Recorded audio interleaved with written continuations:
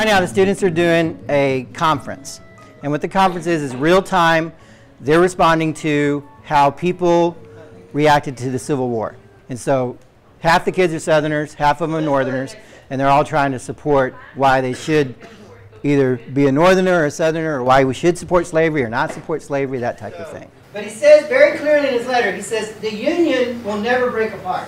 Content's important, and knowing my content's important, but what's important as a teacher is being able to facilitate activities. And now we just had a discussion. It was organized, you had your own time to speak, and then wait your turn, speak, the discussion it was actually really good for us because as we do the discussions on the computer or on the hub, I mean, we can express ourselves more. And when we do do discussions as a group, as speaking, it actually helps us a lot also because you can hear one another and you can work with one another. It makes our lives so much easier and plus it moves into the future.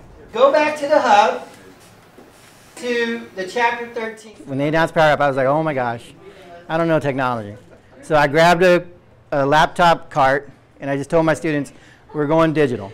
Now, because the hub, the lessons are there, I can put like questions from my book in there and they can answer them and send them to me. I can also do tests and questions, so there's a lot of things I can do.